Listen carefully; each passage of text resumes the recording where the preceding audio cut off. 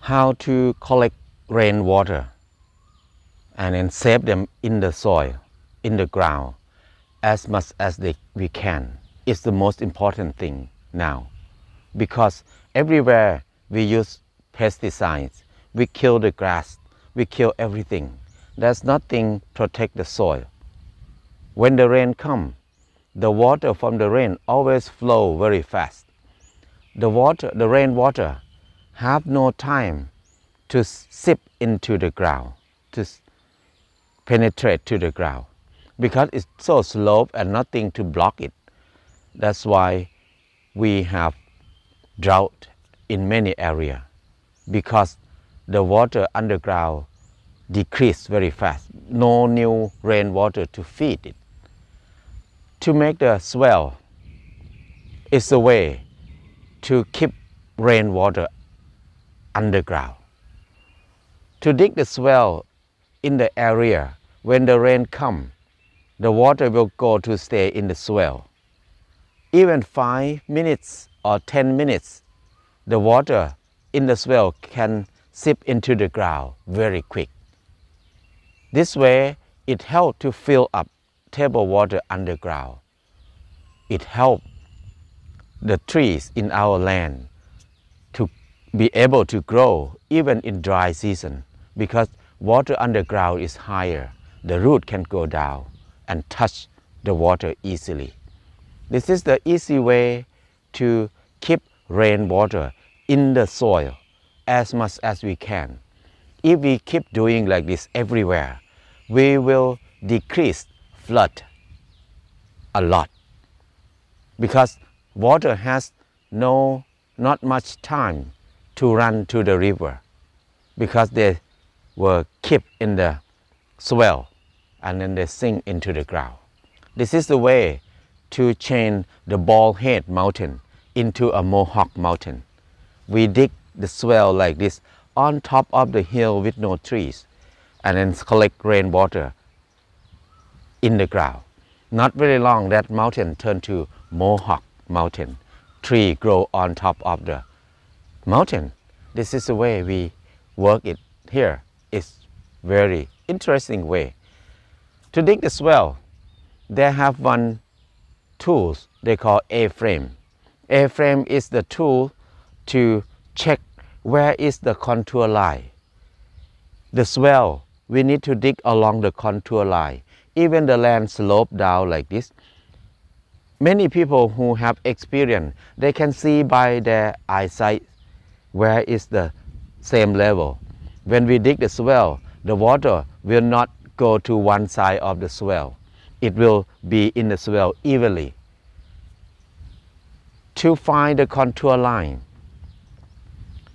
we have one tool we call A-frame to check it.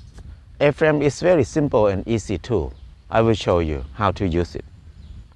How to use A-frame. The first thing is we need to look at the land. When it slopes down like this, we want to start the contour line or the, the swell from here. We mark it first. We mark one spot and then this is a frame.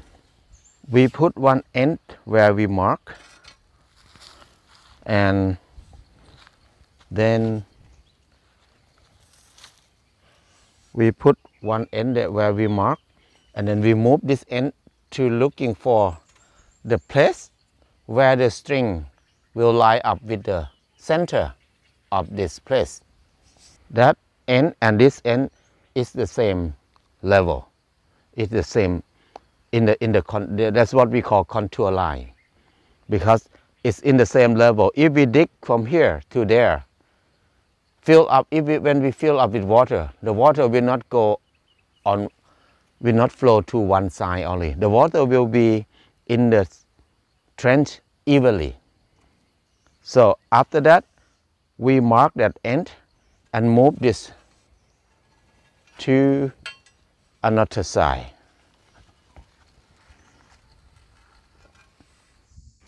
And check the string to make sure that the string line up with the center line of the A-frame. And then we mark that end and keep going like that. Keep going like that. So we will know the line that we call contour line. And then we can dig, follow the place where we mark it. Keep doing like that. We will get the good swell. The line from one spot that we mark to another spot. We can dig to make the simple line like this first. And then we can come back and dig it deeper, deeper after that. That is what we call swell. This is how the line look like. Even it's in the slope, different kind of slope, but it will be in the same level. It will hold water evenly. The water will not flow to one end at all. The simple way to make a frame, we don't need to use the metal to make a frame like I did before. We can use bamboo or any long stick. We can cut them two pieces the same size. It can be small, it can be big, it's up to you.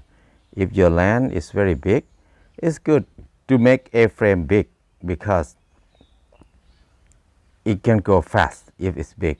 But if we make it small, it will go slow. So we need two pieces of wood or metal the same size.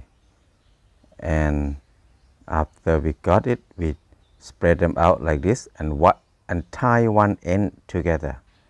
We can use wire or any string, tie them together. Only one end.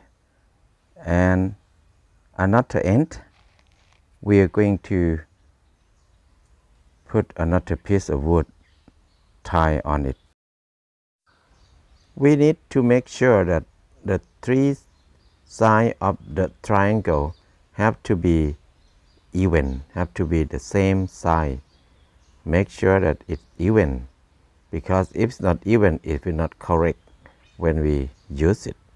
So this part, after we check it, we tie it very well so it will not move. It's good to use wire or string to tie, it's okay. After we tie both ends together, it's good to recheck again to make sure that it's exactly the same size, all three sides. Then we need to find where is the center of the bottom piece of a frame. This the center will be like the main spot that we need to compare with the string that hanging down. So this is the center halfway of the length of this piece is the center. So mark it very well. We can see it clear. After we mark the line at the center of the bottom part of the line, the wood, then we will get a string to tie on top of the triangle. It can be any string that is not too big. And at the end of the string, we try something heavy on it. So if we pull the string straight down, we can see the line and the string pair up easily. After we tie the string, when we pull it up, the string can move easily like this. So we try to move one end of the A-frame to looking for where is the best spot that the A-frame, the string will line up with the line, the center line. That is mean both end of the A-frame's leg are even. So if we dig from one leg to another leg, that's the even swell. So we keep moving like this all around our land. This is what we call the send, the contour line that will help us to make less mistake in digging swell. After that, we start to draw the line from each spot to another spot. Every spot will, will be drawn, connect together. All this line is contour line. This is the easiest way to know where it's in the same level. And we can dig it after that, after we make the line ready. This is the ready contour line that we dug a while ago. It don't need to be very deep, especially when the soil is sandy. The water can seep underground very fast. But if it's clay, we can make it deeper than this. This is perfect. The swell is one way to keep rainwater underground as much as we can. If we keep doing like this, we can decrease drought and flooding a lot. If we do it enough, we will have no problem with flood at all or drought because table water underground is going to be higher. It's good. The forest will be green all the time.